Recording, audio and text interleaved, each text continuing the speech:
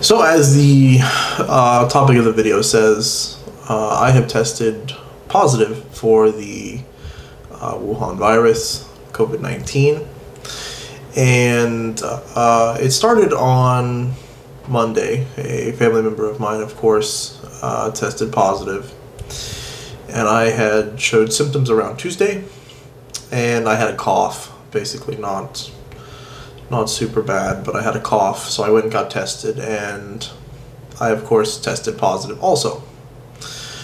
Um, so I have just been relaxing. I don't feel bad at all. I think when you watch liberal news in America, you think that it's just um, death, destruction, pain, and agony um, everywhere.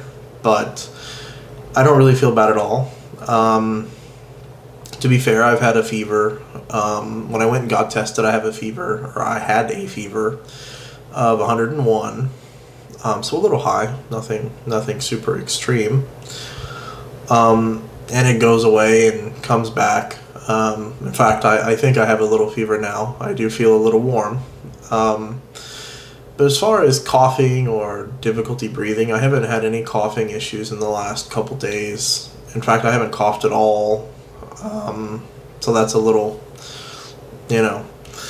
Um, but yeah, just a little fever. Um, all these people that always said, "Oh my God, you have a big head."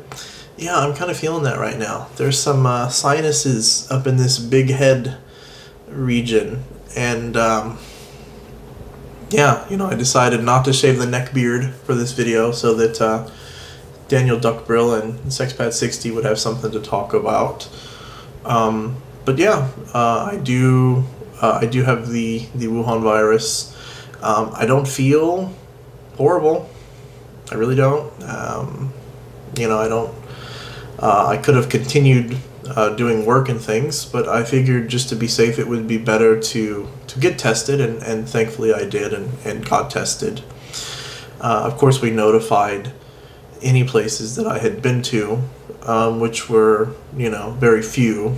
Um, of course, as as knowing the risk of the COVID nineteen thing, you people haven't been going much, doing many things.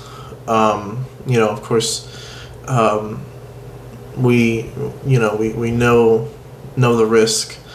Um, but again, I think it's it's uh, it's a little strange. I, I don't feel horribly bad.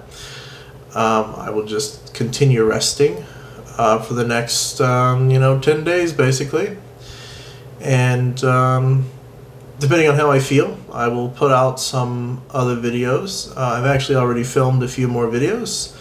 I just haven't uh, put them out, and I figured that I would put this video out just in case um, I do get get worse, and for whatever reason I don't put out videos. But I, I don't think that's going to happen.